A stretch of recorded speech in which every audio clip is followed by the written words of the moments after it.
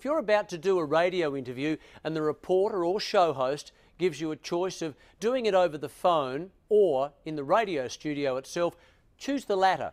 It's always better to be interviewed face to face with the reporter.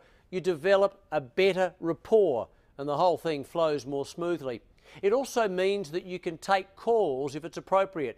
But if you can't make it, don't worry, just make sure you're prepared.